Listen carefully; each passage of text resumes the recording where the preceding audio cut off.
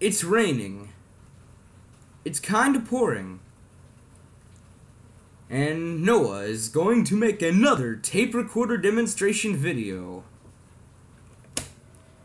The music that you're about to hear has been recorded off of this machine via the auxiliary input.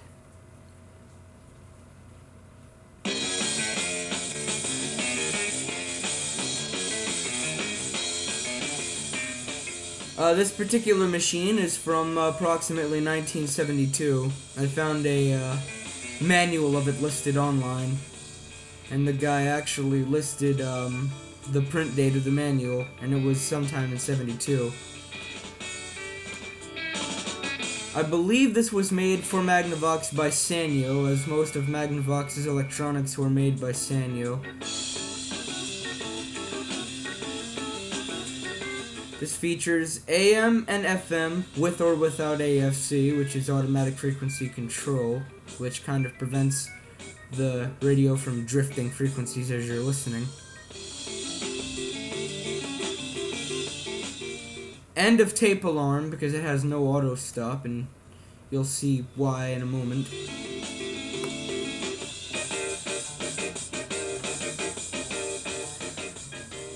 Now I'll give you an overview of the layout of the radio. This is a very high quality machine. First taking a look at the back, you'll see nothing. Turn this around and uh, you'll be greeted with a 120 volt AC input as well as a 6 volt well no that's not 6 volt that's probably 12 uh, DC input this is the front with all your controls, which include um, stuff like speaker on, off, source selector, um, volume, tone, record button, handle, and tape transport controls. This is another tape recorder that happens to be controlled by knob, like uh, my Bradford 89300, which I have featured on my channel. Looking at the right side, you see the uh, ports for the mic and remote, auxiliary, and headphone. The back of the machine has your battery compartment for the six D-cell batteries, if you can see that.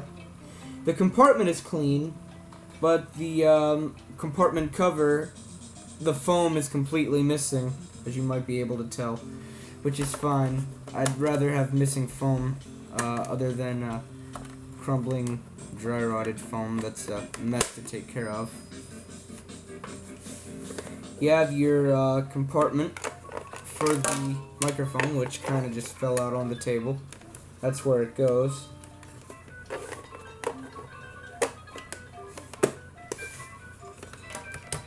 That's pretty much the layout of the machine. As you um, have heard, this records really well. And uh, I will show you the recording function. This is the original remote mic that it came with. So I'm going to uh, plug in the uh, microphone because, well, you kind of have to. This has no um, internal microphone but um, the microphone that it came with is actually really quite good, so um, that is good. Alright.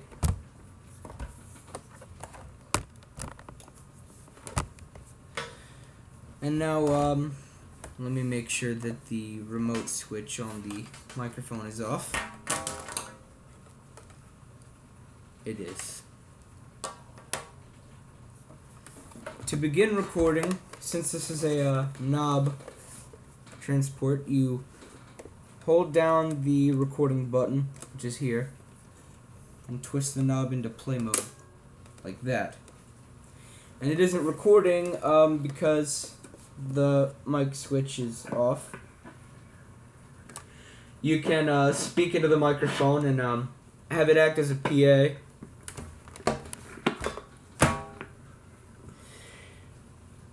This has both automatic and manual level control. right now I'm on manual level control. Adjusting the volume also adjusts the level of the recording. What I'm going to do is turn off the speaker, turn the volume knob all the way to the left. There you heard a click, now it's on automatic level control.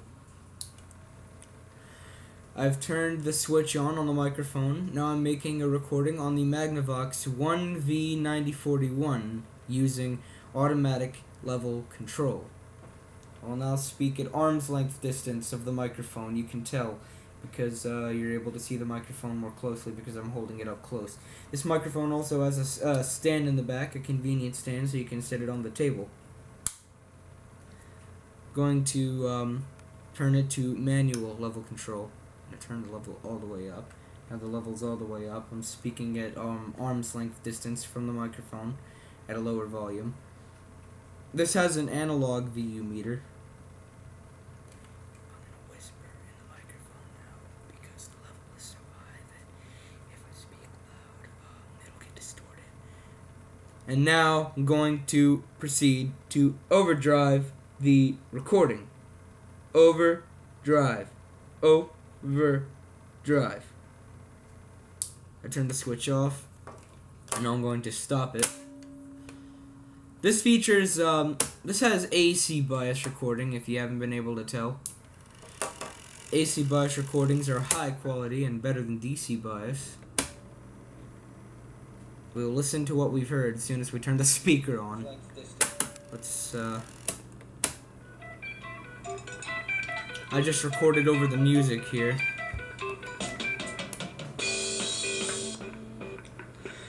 I've turned the switch on on the microphone. Now I'm making a recording on the Magnavox 1V9041 using automatic level control. I'll now speak at arm's length distance of the microphone. You can tell because uh, you're able to see the microphone more closely because I'm holding it up close. This microphone also has a uh, stand. Fast forward a bit. Arm's length distance from the microphone at a lower volume. This has an analog VU meter. I'm gonna whisper in the microphone now because the level is so high that I hear myself overdrive. Mm, recording. Overdrive. Overdrive. That's always fun. And now we will uh, lift up the telescopic antenna. And this is where it kind of has some problems.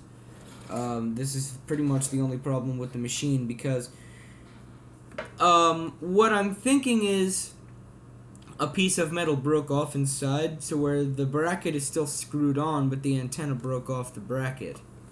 As you can see, it moves rather freely.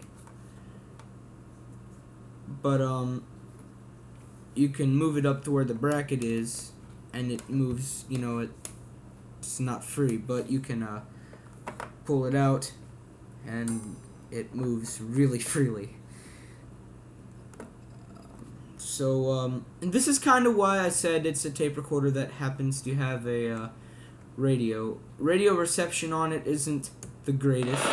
That's AM, which I'll not be demonstrating because uh, the laptop produces lots of interference. But this thing performs decently on AM. AM sounds really good. When you couple this thing with a passive loop, it's it's amazing. So uh, we'll tune around the FM band and record some stuff. I'll give an example real quick. Yo, what's up? This is your boy Sean from New Hope Elementary. You know,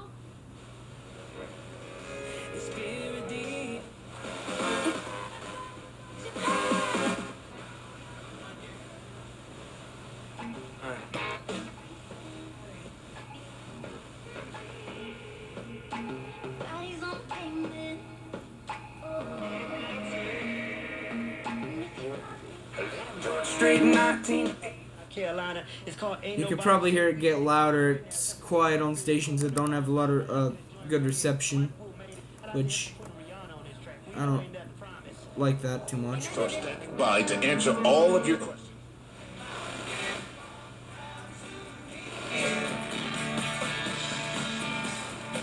He feels off.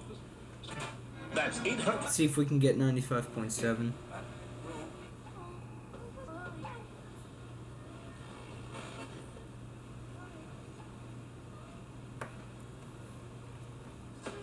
Probably not, huh?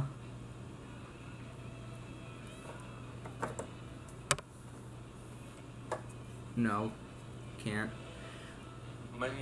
That's Make why I. re- a uh, recording off the radio. Now, um, I have it set to automatic level control. I'm going to press the record button and. Yeah, lots and lots of noise. if it's the greatest. So, um, I turned the speaker monitor off. Because, um, yeah, it's pretty loud when you're recording with automatic level control. It does not record the mic when it records the radio like a couple of other tape recorders do. You can turn off the switch and it'll stop recording. So you can just use this as a remote uh, when you're recording the radio. So um, it's a cool way to pause since this has no pause. We will stop, turn speaker monitor back on, well speaker, and then uh, turn it back to tape. Listen to what we recorded. It has to be Charlotte's Classic Rock. 99.7 The Fox. So uh, as you can see, it's a little distorted, but um, it's not terribly bad. You can make a decent recording if you use manual level control. Automatic level control isn't the best uh, when you're recording with a station with um, really, really strong reception, but you know, it's alright. So uh, that's the um, overview of the Magnavox 1V9041. It's a very, very high quality machine. Hope you enjoyed watching the video. Learned something. Oh yeah, I should mention that if you didn't know this, if this actually was released in 72, it was released the same year that Magnavox released the Odyssey. No, I'm not a huge gamer person, but I did know that at least. Alright, that's all for now. Hope you enjoyed it. Thank you for watching.